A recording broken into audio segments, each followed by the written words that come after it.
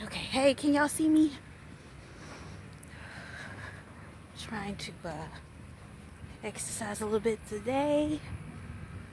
Forgive me for my speech impediment. I got my rubber bands in. Trying to straighten these teeth again. Mm. So, coming to you today to just say hello. And hopefully you guys are doing okay. And I am going to be doing a couple of segments, little small segments.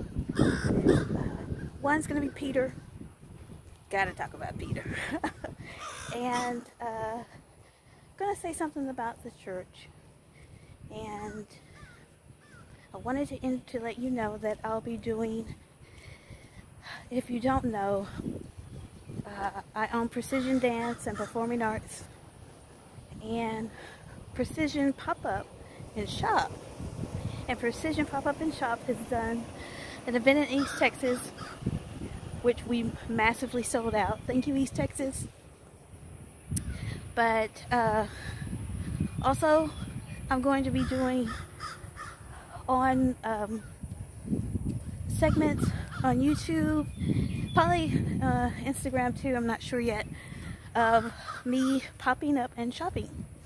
And this is going to be, you know, just a couple of, um, I guess it's going to be a couple of stores here and there and showing you some of my craftiness that I, I forgot I had. I used to do it a lot when I was living in Virginia.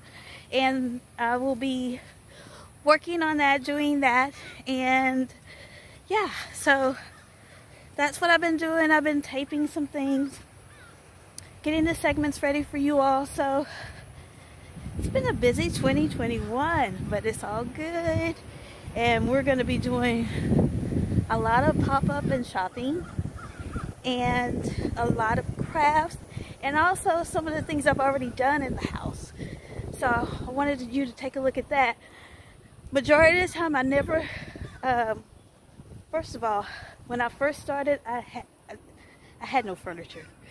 So when I get furniture, I keep it for a long time, as much as I can. And I'll redo it, restore it, whatever I can to keep it.